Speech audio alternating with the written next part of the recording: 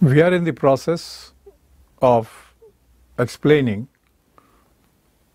the three methods of estimating national income. We have already talked about their origin. How did they originate? The main points were these are not exactly three methods, but three sources of data.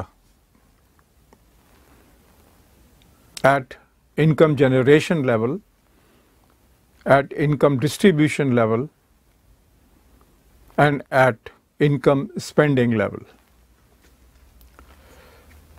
Before we take up each method, let us talk about two concepts.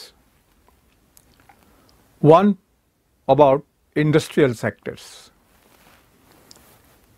You have learned this concept in class 11 also, maybe in class 10 also.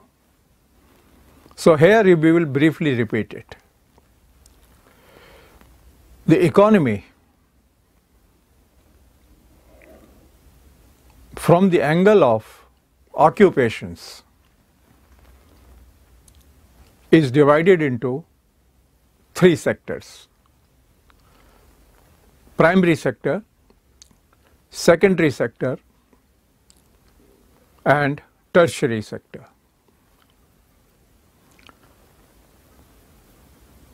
The literal meaning is primary sector of first importance, secondary sector of second importance, and tertiary sector of third importance. One depends on the other.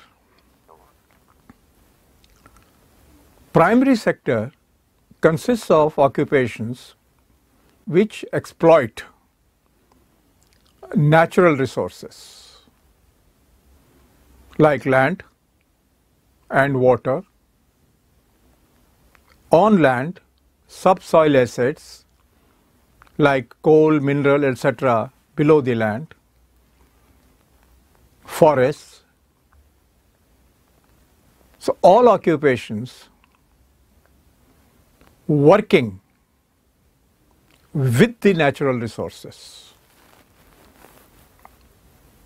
exploiting natural resources for the purposes of producing goods are called primary sector occupations.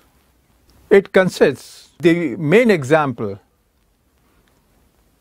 of primary sector is agriculture. And there are certain allied activities इसके साथ जुड़ी हुई maybe horticulture or some such things, animal husbandry, etc. These are primary sector. Then secondary sector, transforming goods into goods. They mostly take raw material from the primary sector and convert it into other goods that is done in the secondary sector. For example, wheat is produced in the primary sector, but preparations of wheat like maida, like other things,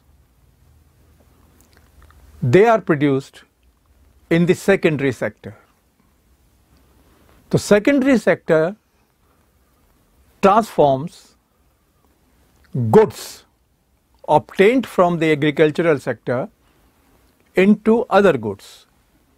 We call such goods as manufactured goods. So, the main component, the main constituent